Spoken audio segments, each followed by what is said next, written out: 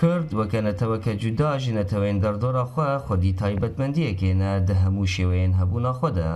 یەک جوان ئالا کوردیە کۆ دیرۆکە ئافراندناوێ دڤەگەرە ساڵە 1990 پشتی هلوشاندنا ئیمپەراتۆریا ئۆسمانی کورد تەفگەرەکە سیاسی کردن دا مافێن خۆ بدەست بخن. و di sala 1918 de Komelayeta Alî Kurdistan ji malbatên Kurd ên rewşenbîr Kolistanbolê bûn hate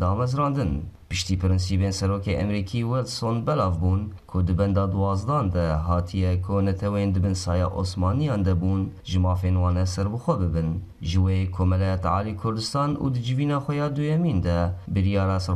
کردستان ده او هر وحا آفراندنا آلکی بطایبت بوه. و جارە یەکەمین کو ئەو ئالهاتە هەلدان لە سەرداخوازیە کۆمەلەیە بە دەستی علی شێر و نووری دێرسمی دشۆرەشا دەرسمێدا لە چیای قۆچگیرێ لە باژارێ ئۆسمانیە پشترە کۆمەلای خۆی بوون ژی یاگوت ساڵە 1920 لە لبنانێ هاتە دامەزراندن ئەو ئال وەک ئالا کوردستانێ بناف کرد و تا ڕۆژە ئیرۆ ئەو تێب کارانین. ئالا کوردی هەرچە ڕەنگی خۆشی خۆزایە وەرگرتیە لە گۆری گەلک دیرۆک ناسان کەسک ڕەنگی شیناهیەیە سپی پاکیا مرۆڤاهیەیە سۆ ڕەنگی خوینا شەهیدێن کوردستانەیە و زەر ئێبشێوەیە ڕۆژێ نیشانە ئۆلا کوردی یاکەڤنارە.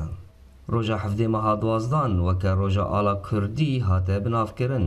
و divê rojê de Kurd şahî û ahengan ji bo vê helkeftinê li dar dixin. Ala Kurdî ala milletekî ye ku bi sedên salan berxwedan kiriye da bigihîne mafên xwe û ev al bibe fermî ji dewleta wî re.